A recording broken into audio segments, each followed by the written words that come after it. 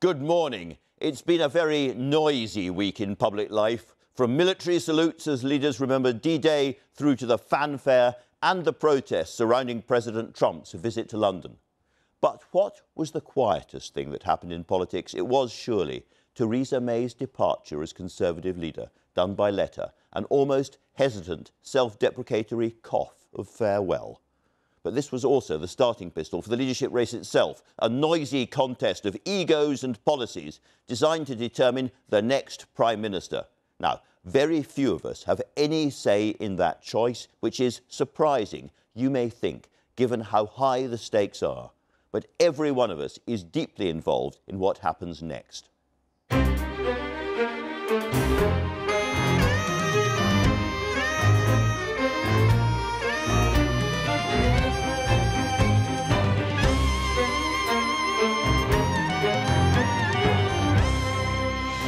Michael Gove, one of the front runners, has had his past drug use splashed across the front pages of the newspapers. Will this damage him?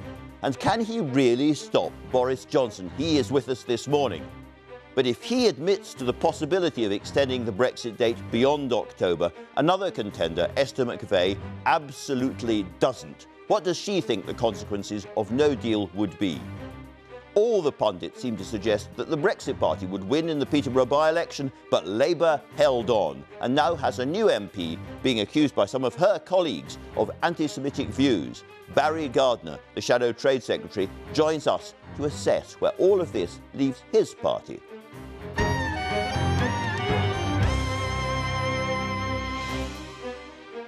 Reviewing the news for us this morning, Katy Balls, Deputy Political Editor at The Spectator, and Pippa Crerar, Political Editor at The Daily Mirror. But to start the programme proper, the news now with Victoria Fritz. Good morning. The Conservative leadership contender Michael Gove says he wants to replace VAT if he becomes Prime Minister, as he continues to face difficult questions about taking cocaine on several occasions two decades ago. Mr Gove, who will be appearing on this programme later, wants to introduce a lower, simpler sales tax. But this weekend, he's been fending off allegations of hypocrisy, having written an article in 1999 criticising middle-class drug users around the time at which he now admits to have taken cocaine. A woman has died after being struck by lightning while walking on a mountain range in the Scottish Highlands. The 55-year-old was hiking near Kinlochleven when she was hit yesterday evening. Police Scotland said another woman in the same group was also injured. She's now in a stable condition in Fort William. Huge crowds of demonstrators are filling the streets of Hong Kong to protest against a proposed extradition law they fear could allow Chinese authorities to target political opponents in the territory. Now, opposition activists say sending suspected lawbreakers to face trial in mainland China would erase the judicial independence Hong Kong was guaranteed when Britain handed it back to Beijing more than two decades ago. Barcelona has finally issued a building permit for one of its most famous tourist attractions, 137 years after the first stone was laid. La Sagrada Familia was given a licence on Friday, allowing it to continue building work until 2026. It's unclear why the church, designed by the Spanish architect Antoni Gaudi, did not have a building permit in the first place. The two British teams in the Women's World Cup are playing each other today. England versus Scotland kicks off at 5 o'clock in Nice. It's Scotland's very first appearance in the finals. They're coming off a five-game unbeaten run. England finished third in 2015 and arrive in France, this time as one of the favourites to lift the trophy. That is all from me. The next news bulletin for you on BBC One is at 1 o'clock. Back to you, Andrew. And today might be the day that women's football really captures the imagination of the whole country. But we are here above all to do politics, and so do the front pages. Boris Johnson, that £39 billion is ours, he says on the front page of the Sunday Times, emerging from its front page like some kind of blonde Godzilla from the depths. Um, the Sunday Telegraph um, splashes with Michael Gove there, scrapping VAT, the story that you heard on the news, but of course he's facing much worse headlines as well. The Observer picks up from the Mail on Sunday, Gove is branded a hypocrite after admitting using cocaine. And there is the Mail on Sunday itself, Gove, drug hypocrite. He won't be enjoying that this morning. And funny, there's the Sunday Express, another front runner, Gove, Johnson and Hunt are the three frontrunners at the moment in terms of uh, Tory MPs who've supported them. And he says he's going to be Britain's deal maker, and he's got announcements on housing as well. So let's start, um, Katy, with Boris Johnson. As I say, he suddenly emerges from the Sunday Times Yes, so he's kept a fairly low profile, but that He hasn't has, yeah. hasn't really stopped him being seen as the front runner. And I think at the moment, if you look across all the papers, we're going into the first week of parliamentary rounds when MPs are going to have to start deciding who they want, and it does look like it's Boris Johnson's to lose. Can I ask you about that? Because there is a very strong sense, as you suggest, of a Boris Johnson landslide beginning to gather momentum. And yet, um, Adam Boulton, for instance, in the Sunday Times, reminds us that very often, almost always, the front runner doesn't get it in the end. So the question is, what can possibly stop him, or who can possibly stop him now? Well, we've heard for a long time about a Stop Boris campaign amongst the parliamentary party, and I think everyone's waiting for that to emerge. What's really helped Boris Johnson is the operation recently has been Stop Raab. So Dominic Raab has emerged as someone lots of Tory MPs, perhaps in the centre of the party, are more sceptical about, owing to his Brexiteer credentials, the fact that he would prorogue Parliament. Mm. In this Sunday Times interview, what we're seeing Boris Johnson doing is laying out his pitch. And again, you are seeing this effort he's making, which is to say, look, I'm serious on Brexit. If need be, I will pursue a no deal Brexit. But he's trying to cozy up to those MPs in his party are sceptical about him by playing up his one nation credentials. One nation. I'm a soft, cuddly Tory. Pippa, you've, you've re- read that piece as well. What do you think yeah. we learn about Boris Johnson from it, if anything? well, I think before? the main thing I learn is that he's prepared to say what he needs to to get through to the media stage. And first of all, it's about convincing the MPs to back him. So he gets down to that last two everybody knows he's a favourite amongst the Tory mm. members that then go on to pick the Prime Minister or the Tory leader. Um, and uh, what those MPs he needs to need to hear from him is that he's the only person that can um, save the country, to use his words from Corbyn and Farage. However, he's doing this by promising to withhold the EU divorce bill, which, quite frankly, about half of it we ready will have is ready um, factored in up until 2020. And I think the Chancellor and told me um, the week before last on this programme that actually we had a legal obligation, their legal advice that almost all of this money we have to pay over anyway. And, and also the backstop, which the EU has made quite clear there'll be, have to be some form of a backstop for the, the controversial Irish border backstop. And even if we were to walk away with no deal, as Boris Johnson suggests might have to remain on the table, um, if we ever then want to have a trading relationship with our biggest trading partner, the EU, which presumably we will at some point, the EU's made quite clear that those things at that point will have to come back onto the table. So mm. it's disingenuous, I think, to suggest that you could walk away and save all this money. Um, and, uh, and but Boris Johnson needs to do that to win over these particular MPs. And, and, and yet, Katy, um, if you're the Tory party, as it were, at the moment, you're looking at Nigel Farage and you're really worried about the rise of the Brexit party. There's a letter, I think, in the, in the Sunday Times I was noticing from a, clearly a Tory activist who says, in the end, in the end, now we need the lion that roars the loudest. And that is going to be the instinct that probably takes him over the line mm-hmm. as things yeah. stand the Brexit Party is helping Boris Johnson, and this week I chaired the One Nation hustings. How was that? Because you, you were in the room, none of the rest yeah. of us were. Yeah, managed to get a seat chairing that. And Boris Johnson was making this pitch. He told MPs, and I would say this is an audience that are a little bit sceptical of Boris Johnson, the One Nation caucus, and mm. there are lots of Tories who would say they're One Nation, but the caucus is against a no deal Brexit. And he said to them that he was the only candidate who could get Nigel Farage back in his box. Now, got a lot of cheers, I think, in part because he had some of his supporters in the mm. room. But it seemed to land okay with the group. And again, I think it's partly because they see other candidates on the Brexit spectrum as, as more hardline. But there are also some Tory MPs who simply don't believe that Boris Johnson would take us through no deal, that at the end he'd suddenly yeah. go for a referendum or, or, an extension or something. And, and just in ter- and I think you're seeing in all of the different papers lots of MPs, some cabinet ministers coming out for Boris Johnson. He's but got Chris slight, Grayling, he's the, the coup. the slight problem he has is he has Steve Baker, ERG Brexiteer, coming out for Boris Johnson. Mm. Now, what Steve Baker wants on Brexit is, I would say, different to what some of the, his other supporters mm-hmm. do. So, right. how does Boris Johnson please them all? OK, that's more than enough of Boris Johnson. Mm-hmm. Let's talk about Michael Gove. Uh, the Mail on, he's, he, I don't know if he had a deal with the Mail, but he'd certainly given an interview yeah. to the Mail yesterday and explaining his drug use and all the rest of it. And the book was serialised, and it felt, if not cosy, at least sort of a certain amount of mutual respect between the Mail Group and Michael Gove. He can't be feeling that after looking at the front page well, of the I Mail think there was Sunday. a bit of a bidding war going on for Owen Bennett's book, his um, biography of, of, Michael Gove. And uh, in these contests, uh, daily and Sunday versions of the same title are uh, on opposing sides often. So, um, so yes, so the, the Mail had this piece yesterday, and today the uh, the Mail on Sunday has really gone for the jugular and suggested that Michael Gove had hosted um, a party at which cocaine was used. Now, um, the line from Michael Gove, that's the wrong, that's the wrong phrase, isn't it? The, um, the wrong phrase. the, strike the, that out straight strike away. that out straight away. But Michael Gove's response is that he doesn't actually remember, remember specifically the date about this. And I think really what this comes down to is whether or not um, somebody who then, then ends up. I mean, all politicians have pasts, don't they? All of us mm. have pasts, and particularly if you're if you're very young and you don't necessarily recognise you're going into the, the sort of the, the top tier of government, um, you can't necessarily necessarily be predict what's going to come. Um, and for some, that's running through wheat fields, and some that is apparently using cocaine. Mm. But I think the problem here is that, um, it, well, it seems from the outside, it, to many people, it will look like senior politicians are able to have one set of rules applying to them, whereas normal people wouldn't. So, for example, and a teacher would not be able to pursue their career if they admitted that they'd used cocaine, yet a man who was the education secretary was. Can, indeed. Um, and they, they reprint Michael Gove's article from 1999 there, and it is a characteristically ferocious, full blooded attack on people who want to decriminalise drugs. Yeah, um, and and I mean, he, he, effectively calls himself a hypocrite in the piece, yeah, he? because he says that if you were going to change, if you're going to uh, uh, attempt to change the relaxed drug laws, really you'd be doing, you know, be lots of middle class politicians doing it out of guilt to try and excuse mm. their past demeanours.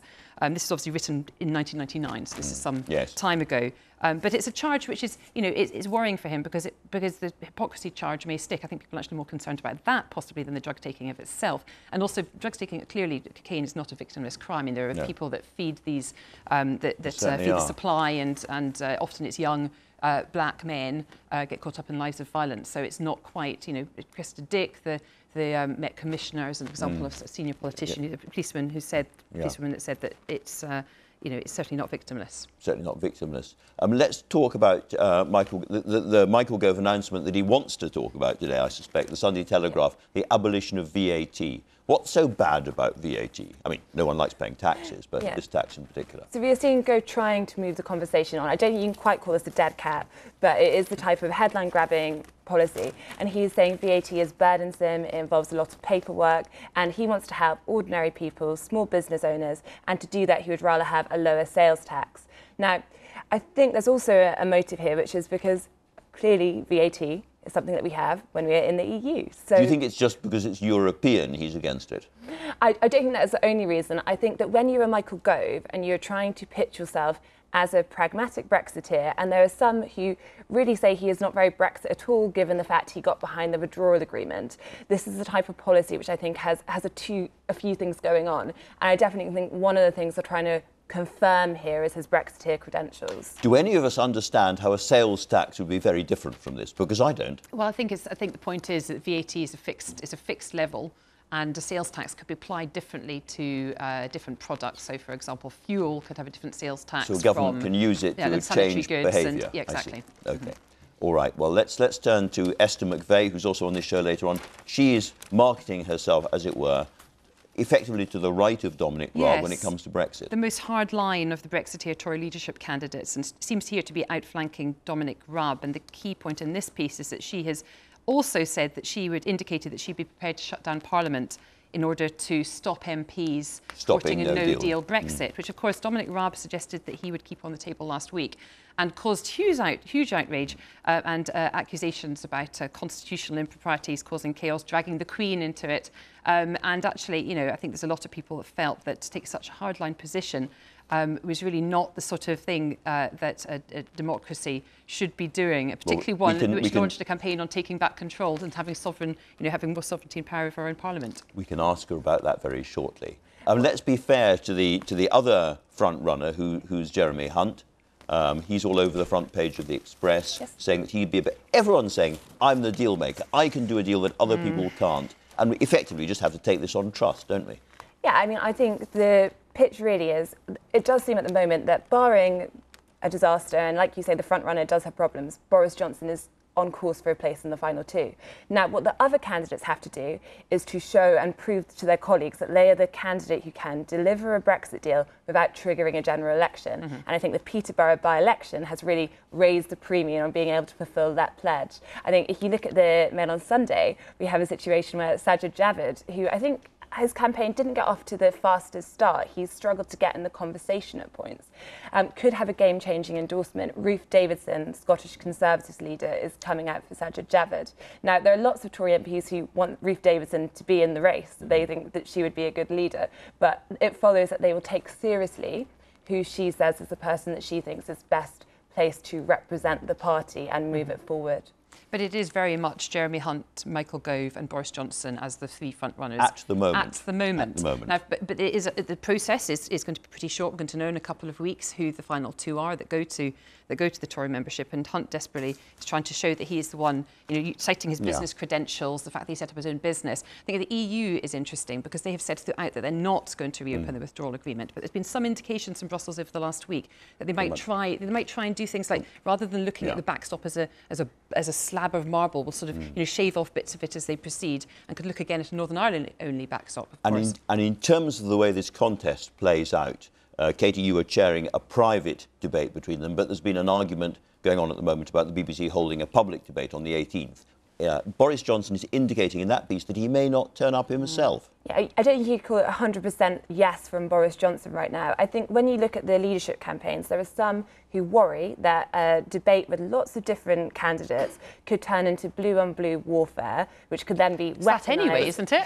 exactly. At the same sorry, at the same time, presumably the rest of us need to see them tested. You know, because this is a this, this is 160,000 Conservative members who are picking our next prime minister, and I think there's a lot of people that very, feel very awkward about that. It is a deliberate strategy from the Johnson campaign not to have him doing media interviews, broadcast media interviews, only to do newspaper because they think they can control it better. You contrast his campaign this time with his campaign two years okay. ago, which quite frankly was shambolic, and they so need to keep their man. Right. They need to keep their man yeah. um, under wraps. I mean, there are two audiences, and ultimately the public have to have this person as prime minister, which I think is why it is important they do do debate. Well, as long as he comes on this show, I don't really care very much. Thanks very much indeed. We've covered the entire round, and so to the weather: wild and blustery winds, eye-scorchingly bright sunlight, then black thunderstorms, a tumble of confusion. It's almost as if Twitter had infiltrated the planet's meteorological system. Louise Lear has more details on that. Louise. Well, I tell you what, Andrew, you've probably summed up our week ahead in actual fact. So I'm going to start off with the calm. Beautiful morning in Norfolk. Lots of blue sky and sunshine, enjoying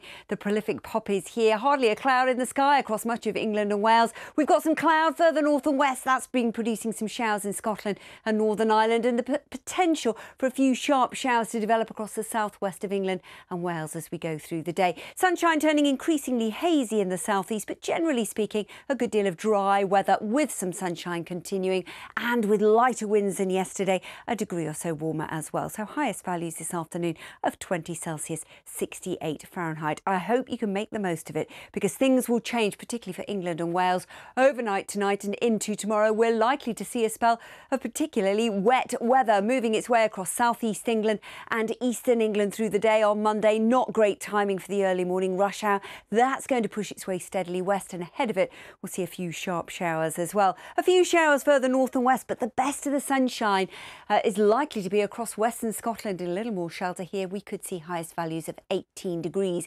Feeling bitterly cold and disappointing in the cloud and rain, only 13 or 14. So certainly worth bearing in mind if you're up and off early, keep abreast of the forecast. Tune into your BBC local radio. Some of that rain could be particularly nasty. Back to you, Andrew. Many thanks for that. Now, Esther McVey is one of the more unusual Conservatives seeking to be our next Prime Minister. She didn't go to Oxford or private school. The former Work and Pension Secretary is a working class star of the Tory right who plans to take us out of the EU with a no deal exit later this year, and she's with me now. Do you think, Esther McVey, that it makes a difference um, that you have a very different background? You didn't go to Eton and all the rest of it. How would it feel different to have a woman of your background leading the Conservative Party? Well, our party is a broad church. It always has been. It's about uh, meritocracy. Uh, and for me, our party is also about social mobility. It's about anybody can come from anywhere and achieve the highest post in the land, so long as they are prepared to work hard enough, so long as they can get a good team together, and so long as you've got a vision that reaches out to the country. And that's why I'm travelling the country all the time um, as part of a pub roadshow with blue collar conservatives to really hear what people want us to do once we've delivered Brexit. What do they want after that? Well, and they want money in schools, they want money going to police, and they also, which I've announced today, is the public sector pay guarantee because people want to know that they're going to have a fair crack at okay. the whip too. But we're not there yet, we're not out of the EU yet. And your position on that is essentially that there's not going to be another negotiation. They're not really going to negotiate. So we have to be prepared to leave at the end of October with no deal if necessary. Hmm.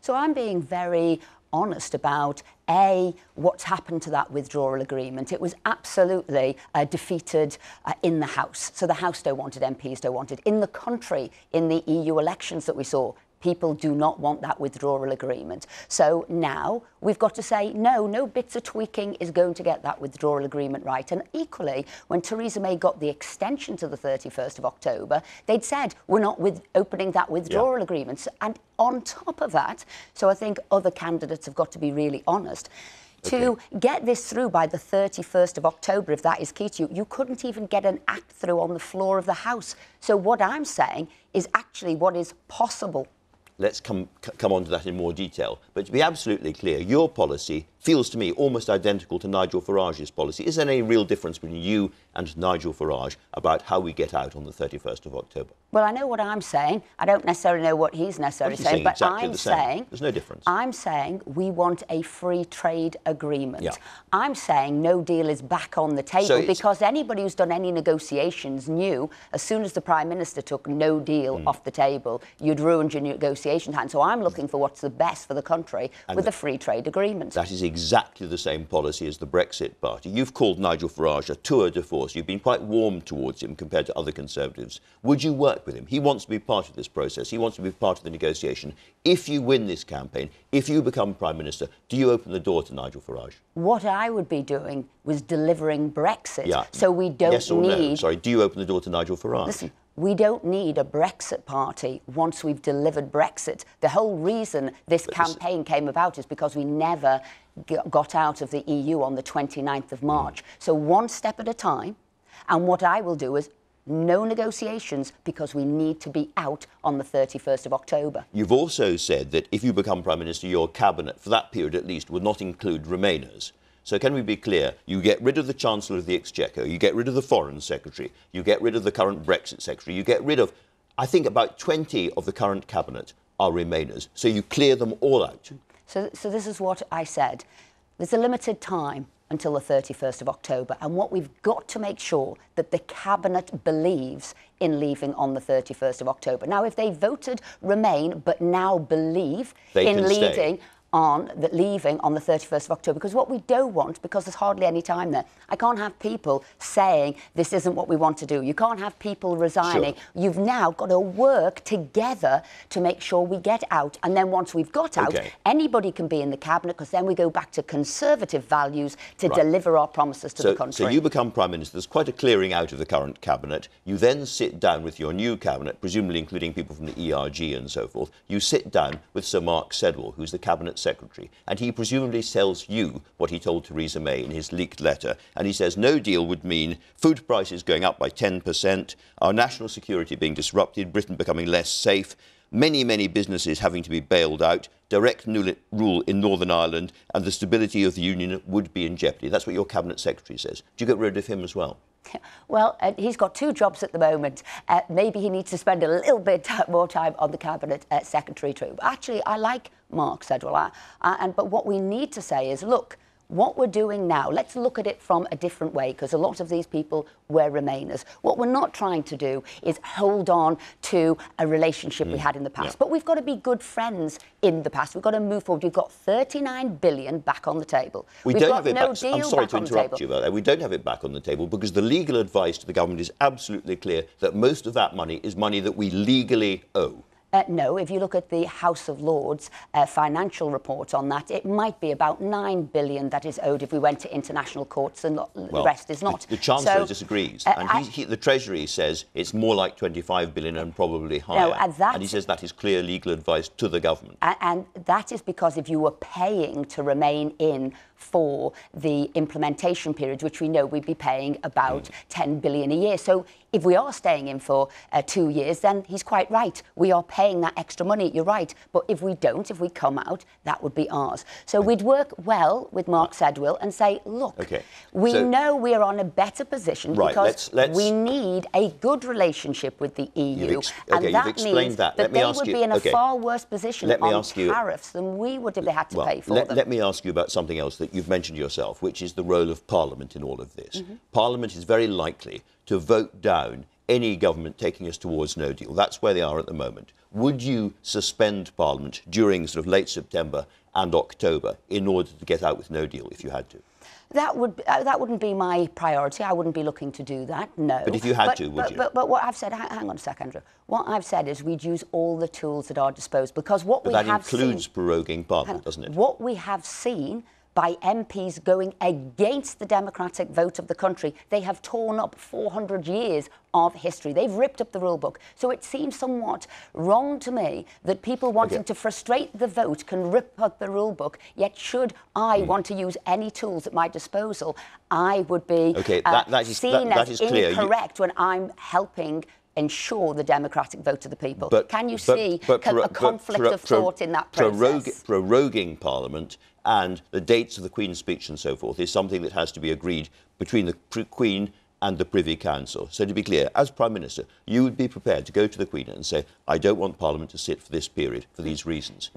Andrew, did you see the hypocrisy between No, people asking about- saying that asking they about- would rip I'm up asking the about what you would actually and do. I would just be using the laws? And so, as I've said I'm to you asking clearly, you what you would do as Prime Minister. There's the Queen sitting there. You have to persuade the Queen to, pro- uh, to, to stop Parliament sitting during a period. Do you ask her to do that or not? and I've been clear to you that I wouldn't be looking to do that. All I was pointing out was the hypocrisy of people wanting to frustrate the So you're not answering my question. My answer- 400. It's a very I- clear question. Well- if you're Prime Minister, do you A, consider the possibility of suspending Parliament during that period? And if the answer, as I think, is yes, do you accept that you then have to sit in front of the Queen and say, don't allow Parliament to sit during October? And that is bringing the monarch absolutely into what would be a ferocious political Andrew, controversy. I said I'd use every tool at my disposal. So that would include that. I'm saying it, It would. wouldn't be my priority and I wouldn't be looking to do that. But like I said, people frustrating the vote ripped up 400 years of rules. I personally would be using what were in my tools, as it were, my toolkit. I think there's a big difference. But if, your tool, if you open your toolkit and that involves dragging the monarch right into political controversy, you'd be prepared to do that. I wouldn't be looking to do that. You wouldn't be looking to do it, but you'd be prepared to. Because I am a Democrat and I believe Well, I in the clear. democracy Okay. of the country. And I do want that to be clear because I'm standing up for the people who won the democratic vote. Let's, let's move on to some of your other policies. Hmm. Um, you want to spend a lot of money um, improving public wages in this country. Where does it come from?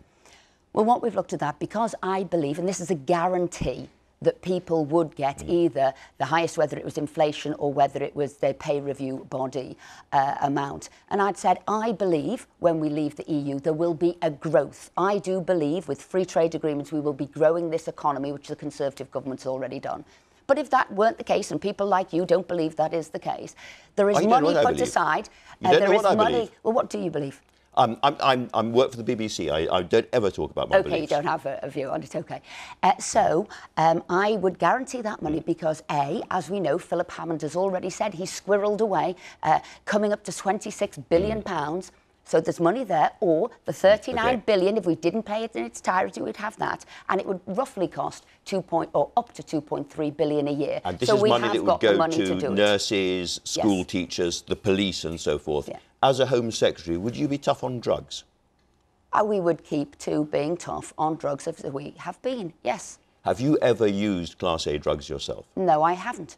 Do you think that somebody who has admitted to using Class A drugs is fit to be Prime Minister? And if you're alluding to uh, Michael Gove on that, I hope people will actually judge him by how good he's been as a politician. So I do believe he can. He said. Okay. it was something he did 30 years ago, and he's uh, um, regrets. regrets it. Uh, David Gauke, who's the Justice Secretary in the government, says this There's a responsibility for middle class people that take cocaine to the dinner party that when they see the story of a 15 year old boy stabbed in East London, they should feel a degree of guilt and responsibility. Do you agree with that? What I am saying is I want to support police to do a job they can do. So I've pledged 3 billion now to police. I'm going to halve foreign aid to give 4 billion to schools, 3 billion to police, and I'm going to make sure that we have a public Well- sector pay guarantee. So I want to make sure that people who are up to £50,000 in the public sector, that actually we support them. Because you know what? Between 2010 to 2017, they have helped get this country back on its feet. Now, you say- we've got to say Can I just thank you you about a change and give your- them a pay increase. There's a change in your policy in that, isn't there? Because you say the money is going to come from the foreign aid budget. The foreign aid budget is set by law at 7%. Uh, of- 0.7. 0.7, 0.7%, I beg your pardon. And you voted for that and spoke for that when it was put into law. But what so now want- you want to change it Now, and unpick all it. you have to do, if you want to change that, and obviously these are two separate agreements, so the other one is foreign aid, which is doubled from 2010 to 2019, where we are now, whereas other budgets have either been frozen or cut. All you have to do to reduce that foreign aid budget is actually make a statement on the floor of the House of why you haven't spent that money. And that's what you need to do. And So you, that's you why would take it from the foreign aid budget. Um, when, Yes. you, when you were but in... keep the foreign aid budget at high levels, at 2010 levels, so we'd still be supporting Okay, when, when, you, when you were at work and pensions and in charge of universal credit, Mm-hmm. you said there was no link between that and more people going to food banks. Your successor, Amber Rudd, has absolutely contradicted you on that. Um, do you now regret what you said? Do You accept there is a link between the way that universal credit was, ro- was rolled out and people going to food banks? Well, what you've seen right across the globe is people going to food oh. banks. And it But I'm has talking gone about up. Britain. Yeah, yeah, Yeah. yeah, And I'm saying across the globe it's gone up. And lives are complicated. And actually, if you look into the reports of why people go to food banks, it's very, very complicated. And some of them could have been, um, you know, they didn't have money. Some of them have been because they've been uh, had addiction. Some of them have But been because universal they've been in credit had a particularly harsh effect on people in this country. I'm asking, is there any aspect of that that you now regret? Hmm. So what I did and the harshest aspects of universal credit, I actually wasn't in Parliament for, and that was George Bos- Osborne's 12 billion extra cuts, which hmm. Amber would have voted for. Now, what I did when I came back to be in charge of that was department was to get back most of that money that George Osborne took back. And do you know what? I got that money back because I went to cabinet and I explained clearly those cuts were too harsh, they were going to hurt hmm. people, and we needed that money back in the department. And I was the only Secretary Okay, of State who got money back. So I actually have reversed Final- those changes. Final question. The BBC is hosting debates for all the leadership challengers on the 18th. Will you be there? If I'm still in, yes, I will. Esther McVey, thanks very much indeed for talking to us. Now then, huge sighs of relief in the Labour Party after, in a tight squeeze contest, they held off the Brexit Party to hold Peterborough in this week's by election. But old rows over anti Semitism and another referendum haven't gone away. Barry Gardiner, Labour's shadow international trade secretary, is here. Barry Gardiner, a great relief, I'm sure, for the party at Peterborough. But nonetheless, you get a new MP who, immediately she's elected, other Labour MPs, your colleagues, are calling to be suspended because she liked what was an anti Semitic tweet. Andrew, I, I found myself uh, scrolling through tweets yesterday, and by mistake, I liked a, a tweet of one of my colleagues, which I immediately unliked, actually. Um, Well- but look, the, the point that you're, you're making, um, I, I take it on board. She has apologised. She said that this was a, a, a careless error. She looked at, at the video of the children um, supporting uh, the, the people who had suffered in New Zealand, um, and she didn't bother to read that. Uh, what It was pretty with it. clear Zionist Yes, slave well, if- master's agenda. If she'd read it, I'm sure it would have been. Um, but she said she didn't. The point, the point is this uh, Lisa Forbes will be dealt with in, in the same way as anybody else in, in our party. If there's a complaint made against them, and you're telling me that there is, then it will be handled in exactly the same way as a complaint against anybody else. Uh, I'm not part of that process, but we have a robust process and it will take place. all across Britain, there are people who use social media and don't find themselves liking anti Semitic tweets. And yet the Labour Party doesn't seem to be able to get those people into candidacies, and you choose the ones who do. There is a problem here, is there not? Well, I'm, look, um, let me simply say this. Uh, she has apologised. I think that um, she has said that she's committed to, to fighting against anti Semitism and to working with the Jewish community to ensure that, that they are confident uh, that she is not anti Semitic. Um, and, and that is something that she must now Okay. deliver on. Um, but on a day when you know you are you're going to be interviewing Michael Gove, who's asking to be uh, forgiven uh, for uh, Class A drug use.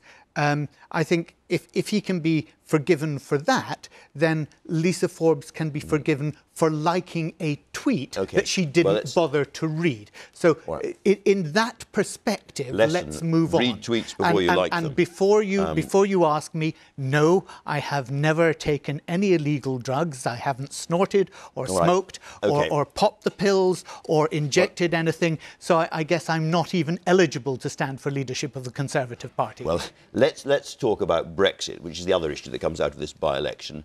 Given what, where we are now, given how long we've got, and looking at what Conservative leadership candidates are saying, do you back an extension to our membership of the EU beyond the 31st of October to get a deal? Look, I, I, I think we do have to now move on. Uh, it's clear Sorry, that the move on beyond an well, extension? No, let, let, let me explain. Um, we have tried our best. It was the government's job to try and secure the referendum result and to get a deal and, and to make sure that we left the EU. Um, they failed to do that through their own incompetence and, and the intransigence of the red lines that they laid down.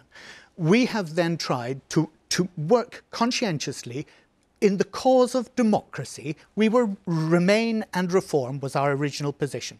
But because of the referendum result, we have tried diligently to work with the government to get a compromise deal that would be acceptable, that would leave the European Union, but would be acceptable to the broad majority within Parliament and would get through.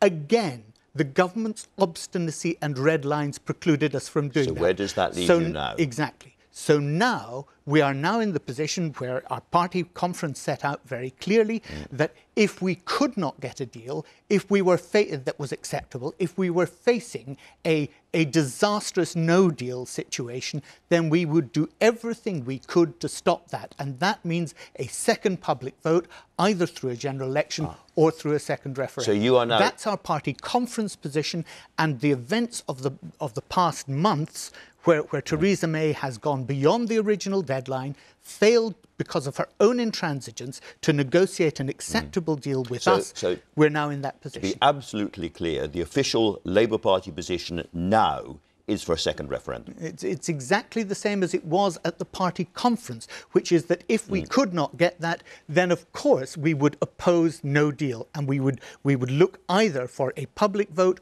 or indeed for a general election to do that. And I, I, I mean, I Can think I, it's actually interested you can't just say yes when I say is the policy now for a, for a second referendum because almost everybody at the top of your party thinks that now. Yes, Tom Watson thinks the deputy leader, shadow chancellor John McDonnell thinks the leaders in Scotland and Wales think it, you know, transport secretary thinks it, the Brexit secretary thinks it. Almost everybody seems to agree that a second referendum at the top of the Labour Party is now necessary with one notable exception. And you know who I mean. Jeremy Corbyn on Friday. We are not at the stage yet where Parliament's actually voted on another referendum. I think it would be much better if there was actually a general election. Now, we know he wants a general election. We know you want a general election, but that ball is not in your court. Well, actually, you've got it entirely the wrong way round because you know you know very well that the the whole mechanism of Parliament means that we have, as the opposition, no power to deliver a second referendum, and the Conservative Or an election. So, sorry.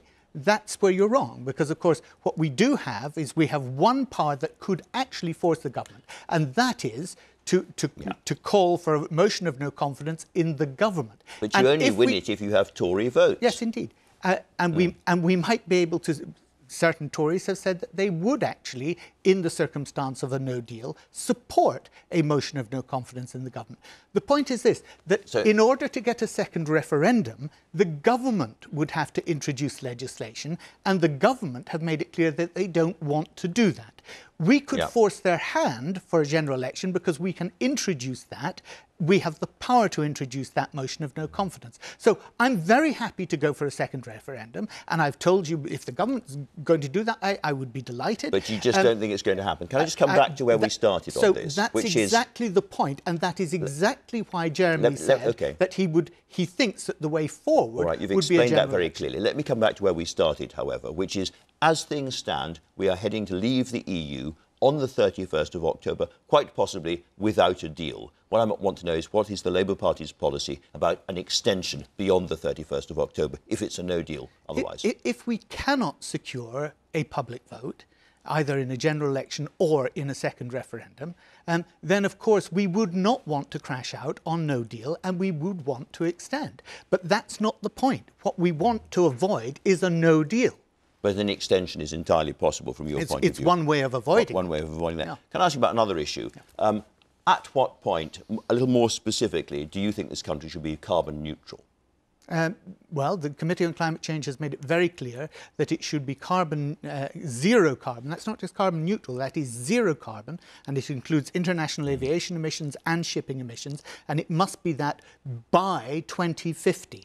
That's, that's what the, the report that they've just produced Right. sets that out very, very clearly. The Chancellor has said in a leaked letter that would cost a trillion pounds to achieve, and clearly that is money that would, wouldn't be going into schools and hospitals and so forth because you can't spend the same money twice. That's a huge choice for the country. Which way does the Labour Party fall? Going for that target, yes or no? Uh, yes. Yes, uh, okay. Right. and- but- We're out but- of time now, I'm afraid, but a, ye- a yes will do us very well. Well, it's important to explain that the Chancellor's figures are wrong, and Well- also that the Committee on Climate Change has said that the, this new target can be achieved within the same cost envelope as Right. the previous one. The Chancellor was wanting to take the benefits of that and secure them for himself. Barry He can't. Gardiner, thank you very much indeed for joining us today. Now, the BBC, as I've mentioned already, will be hosting a special live debate with the candidates who are still in the race to be the next Prime Minister on Tuesday, the 18th of June. And it's going to be shown here on BBC One at 8 pm. If you'd like to ask the candidates a question live on air, then you can email have your say at bbc.co.uk with your name and contact number. Your question should be open to all the contenders, not to a specific politician. Michael Gove's pitch for the top job is that he's a convinced Brexiteer, a leading light of the referendum campaign, but also a sophisticated negotiator who wants to avoid a no deal exit. Now, this morning, there are certain mm. other issues hanging over his campaign, but we're going to start by asking the Environment Secretary about his Brexit campaign, and he's with me now. Now, last time round when you were standing for Prime Minister, it didn't end terribly well. What's different this time round? Well, I'm ready now, ready to be Prime Minister on day one. I have the experience in three senior uh, government offices of delivering, delivering sometimes against the odds and delivering with a sense of pace and urgency. And I've outlined a clear Brexit plan, I think the clearest and most comprehensive of any of the candidates, let's in order to secure a good deal that honours the referendum result. Well, let's talk about that plan. Under Michael Gove, when will we leave the EU? at the earliest possible opportunity. I've outlined does a that mean? Uh, It means that I would have a smart negotiating team led by myself and other politicians rather than officials, explaining to the European Union Hmm. what needs to change in order to make sure that we honour the referendum result.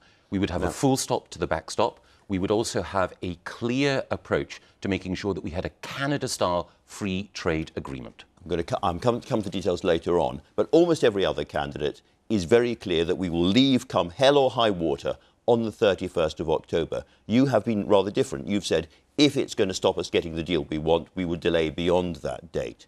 And you've allegedly told colleagues that you could delay until the end of next year. Is that true? I, I wouldn't delay until the end of next year, but I think there is a clear So- choice so here. how long would you delay There's a clear choice here. Um, if we're on the cusp of a good deal, Yeah. if we're making progress, which I believe we will in our negotiations, we're 95% of the way there on October the 31st. Would it really make sense to, to junk that progress and to say, tell you what, we're leaving without a deal anyway? I'm very worried that if any Prime Minister did that, that the House of Commons would say, well, we're on course for a deal. Now you're going for no deal. We don't have confidence in your government. And that government losing a vote of confidence would precipitate a general election, and we could have Jeremy Corbyn in Downing Street by Christmas. What do you I say- think that is okay. an irresponsible risk. We must deliver Brexit. before the next general election because we must stop Okay. Jeremy Corbyn and Nicola Sturgeon in number 10 Downing So Street before ruining 20 this country. Before 2022 is your absolute deadline. Uh, the, uh, my view is that we should leave before October the 31st, but if we need a few extra days or weeks in order to dot the I's and cross the T's to get us out of the European Okay. Union, that is the right thing. We cannot take Gove, the could- risk. could we, we- cannot take the risk, Andrew, of not delivering Brexit before the general election, because the real danger to our future and our prosperity is Jeremy Corbyn. But the general election isn't until 2022. I'm asking you, could under Michael Gove we still be in the EU early next year?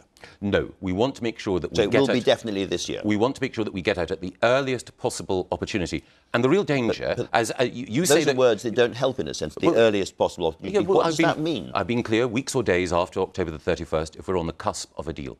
But the other thing is, you say that there won't be a general election until 2022. We've heard from Barry Gardiner about the desire of the Labour Party to trigger a vote of confidence if we face Hmm. no deal. In those circumstances, there is a real risk, which nobody can discount, that we would lose that vote of confidence and whoever Ah. is leading the Conservative Party, whoever is leading the Conservative Party in a general election before we deliver Brexit would lose. It is not enough simply to believe in Brexit. So what you have got okay. to be able to deliver it. So what do you say to your colleagues? You say, well, there's an obvious answer to this problem. Don't let Parliament sit in October. Then we get out. Parliament can't stop us getting out. We, we don't, you know, we prorogue. What about that? Uh, Dominic Raab suggested that. Tracy, um, Esther McVey was saying the same thing on this programme. I don't think that is the right thing to do. I think that we live in a parliamentary democracy. Parliament must vote in order to ensure that we leave the European Union. My view is that almost everyone in Parliament voted to trigger Article 50. There are some Yeah. honourable exceptions like Ken Clarke. When they voted to trigger Article 50, they voted to say that we are leaving the European Union. MPs must honour that referendum result. But we must also respect the fact that we are a parliamentary democracy. And suspending, or as the constitutional experts call it, proroguing Parliament in order to try to get no deal through, I think would be wrong. Do you think it would be wrong because it would drag the Queen into the centre of this controversy? I think it would be wrong for many reasons. I think it would not be true Okay. to the best traditions of British democracy. I argued that we should leave the European Union because I wanted us to take back control of our democracy. And that means putting Parliament at the centre of decision making. Now- I took sacrifices in that campaign, made sacrifices, sacrifices in that campaign in order to secure a restoration of additional powers to Parliament. And I think it is important that we respect that. Now, you, you, you listed the, the, the principles behind your Brexit plan, and I've read them and I've listened to them, and I can't for the life of me see what is really different from what Theresa May tried and failed to do. Well, I would invite you to read it more closely again, Andrew. You're an assiduous reader, but one of I the am. things that I would say is my approach to the backstop is distinctively different, and my approach to free trade is distinctively different.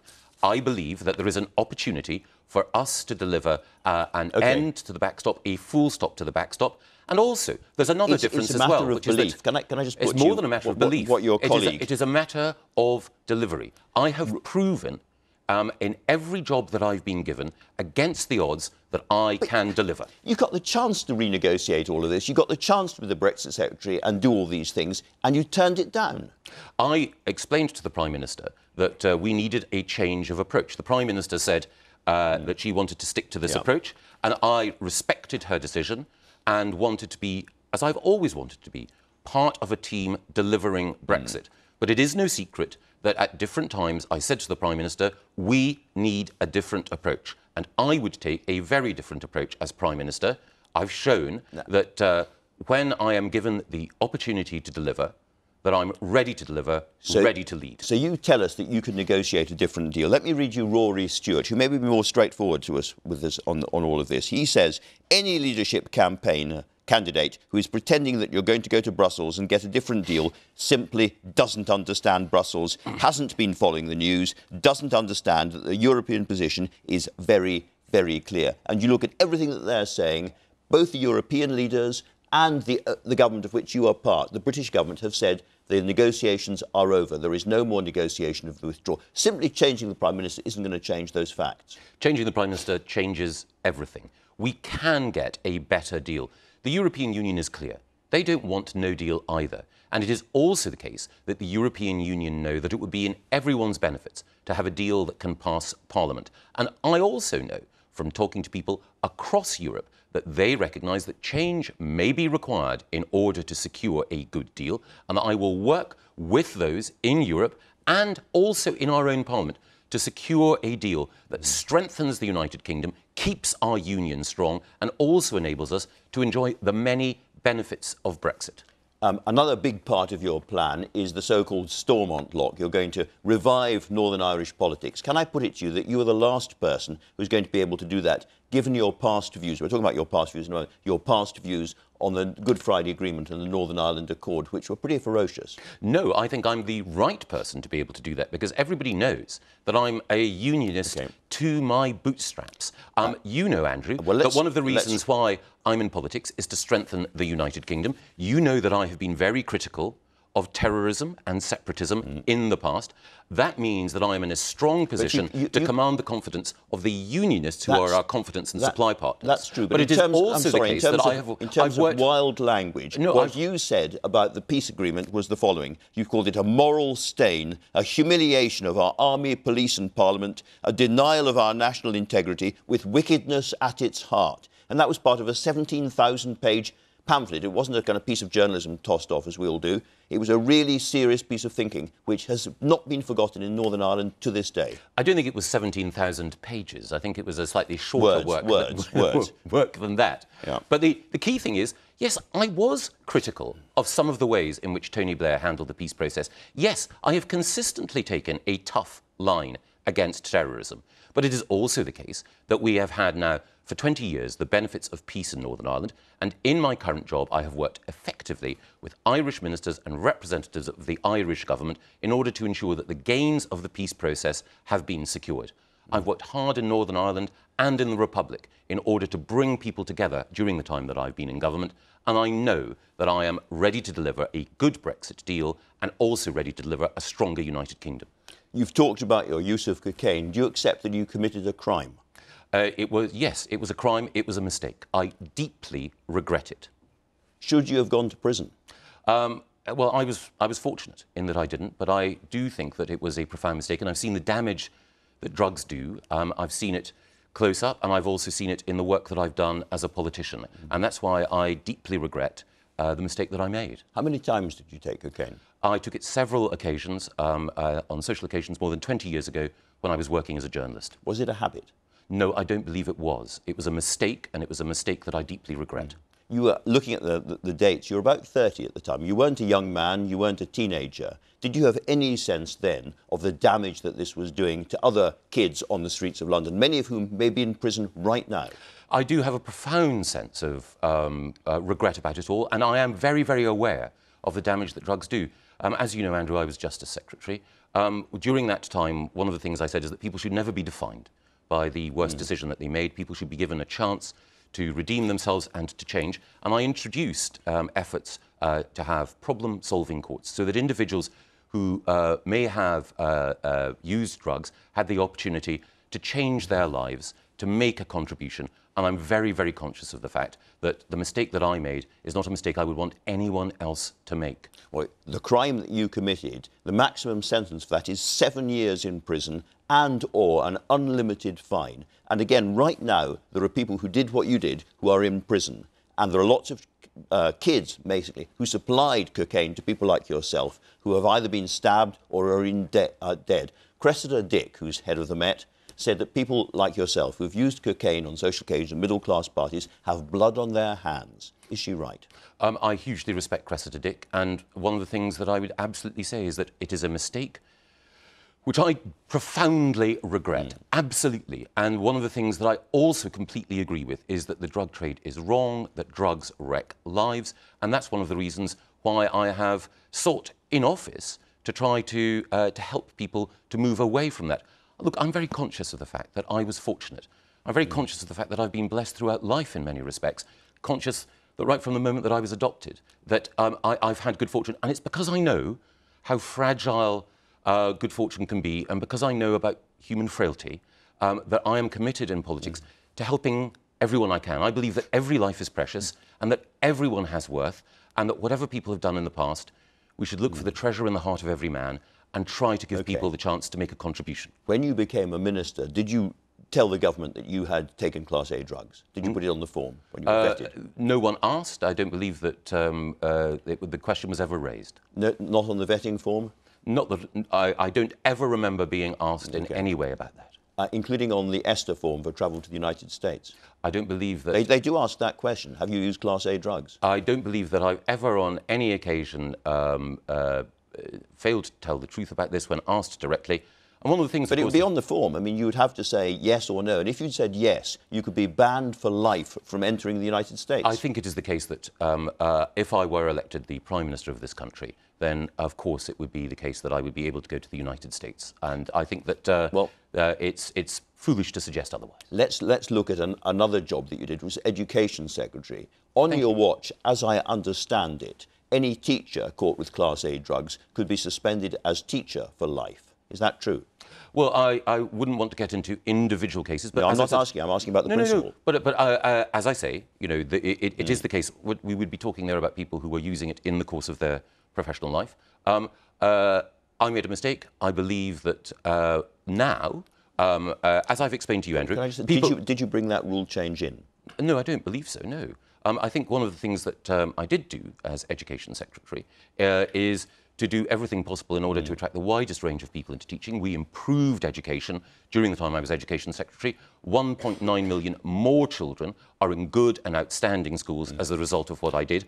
And one of the things which Esther McVey said earlier, with which I profoundly agree, is um, of course uh, the decisions that we make in the past we should be held accountable for. But in this election, what we are reflecting on is who has the ideas, the vision, the experience in office to be able to lead in the future. And I'm ready to lead on day one. You have been accused on the front page of newspapers today of hypocrisy about this. And when one reads the article that you wrote at the time, that's a fair charge, is it not? No, I think anyone can read the article and can make their own minds up. The point that I made in the article is that um, uh, if any of us lapse sometimes, Andrew, from, from uh, standards that we uphold, that is human. Uh, the thing to do is not necessarily then to say that the standards should be lowered. It should be to reflect on the lapse and to seek to do better in future. It's just that a lot of people watching, thinking about the condition of teachers who are caught with Class A drugs, or people who are not in your fortunate position or my fortunate position, Yeah. whatever it might be, and what happens to them might feel this is one law and one standard for people at the top of the tree, like yourself, and a different one for everybody else. I quite understand. And as I say, I was fortunate at the time. I wasn't a politician um, at the time, but it was wrong. And I think that uh, in office, what I have shown is a determination to help people, uh, whatever their background, including um, at education and justice, who may have been born into lives of disadvantage, to lead better lives. And one of the reasons why I want to be Prime Minister is I value every individual. I think everyone has a contribution to make. And I want everyone to become author of their own life story, to be able to determine their own fate and make a contribution. All right, let's, let's turn to um, something else that you said in the not too distant past when you were describing Boris Johnson at the time of the last leadership contest. And you said he didn't have the grip, he didn't have the focus, he, effectively, he didn't have the character for the top job. Have you changed your view on that? Well, I'm a, uh, uh, I like Boris very much, and I enjoyed working with him. But uh, when Boris comes on your programme, as I hope he will, you can ask him about his plans and his vision. I'm here to talk about my It's plans just, again, and I'm, my I'm sorry vision. to interrupt, but for, no, pe- no, no, for, no, pe- for people for people watching, you know, um, they might well have Boris Johnson or yourself as their next prime minister. Hmm. This is a matter of real public moment. What kind of character is? Could he cope with the top job? You have said in the past, no, effectively he couldn't. And I'm asking you, as somebody who has observed him as foreign secretary, who's known him for a long time, have you changed your mind about that or not? I'm not going to talk about any of the other candidates. You will have a chance to interview them. The public will have a chance to see them, I hope, on the BBC's television debate next week. Which And you will come to. Oh, of course. And I hope every candidate does. Because we saw in the mm. 2017 general election, when we didn't participate at the highest level in television debates and we didn't subject ourselves to that scrutiny, that was an error. I hope all the candidates will. And I will have an opportunity to outline my economic plan that puts business at the heart of the revival of Britain and that will reform taxation and regulation in order to generate wealth, particularly for the most disadvantaged parts of the United Kingdom. There's a very strange sort of vestigial announcement this morning from your campaign, which is that you're going to get rid of VAT, which raises 139 billion pounds. It's a huge, huge Yes. tax, six percent of the entire economy, and replace it with a sales tax. Yes. What sales tax? At what rate? And when will we know? Well, one of the things I'd want to do in an early budget and an early comprehensive spending review is to look to see how we can have a tax regime which is as most pro business in the world. And one of the ways we can do That's- that is getting rid of the bureaucratic model of VAT to a much more flexible and lower tax regime. Run out of time. Michael Gove, thanks very much indeed for talking to us. That's all for this week. Thank you for watching. Goodbye.